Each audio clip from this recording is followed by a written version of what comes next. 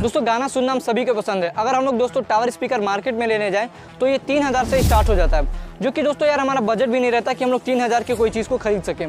तो दोस्तों, इस वीडियो पे हमने बनाया है एक टावर स्पीकर जो कि इस टावर स्पीकर पे जो आपको बेस की क्वालिटी मिलने वाला है, वो नंबर वन मिलने वाला है। साथ ही साथ इस टावर स्पीकर पे दोस्तों जो है आपको बैकअप मिलेगा।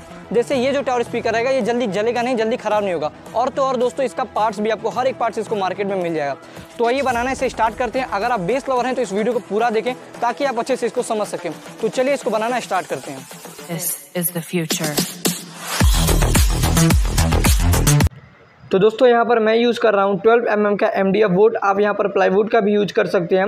लेकिन एम डी एफ़ बोर्ड में दोस्तों बेस सबसे ज़्यादा मिलेगा। यहाँ पर दोस्तों मैंने 12 एम mm का यूज़ किया है। आपको यहाँ पर 10 एम mm का यूज़ करना है, क्योंकि मेरे पास 12 एम mm का था।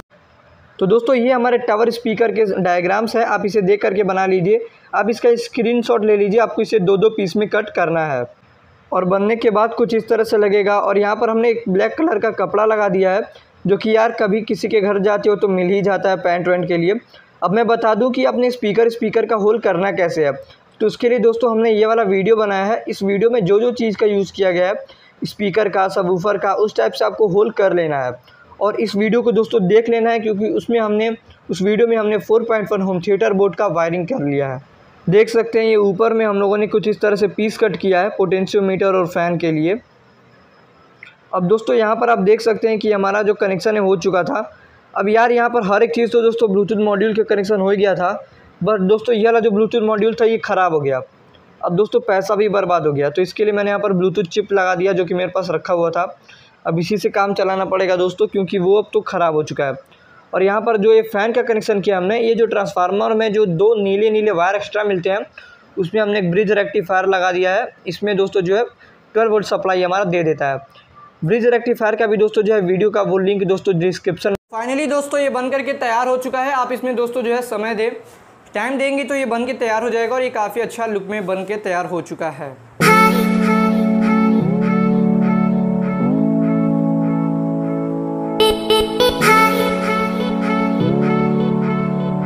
तो अभी मैंने दोस्तों जो है बोर्ड में कनेक्ट कर दिया है और चलिए चालू करके इसकी टेस्टिंग करते हैं। तो अभी जो है हम इसको कनेक्ट करवाते हैं। तो ये मोबाइल है। इसको जब चालू करोगे, देखो अवेलेबल डिवाइस में आ जाएगा B T S S one अब ये जो है पेयर हो रहा है।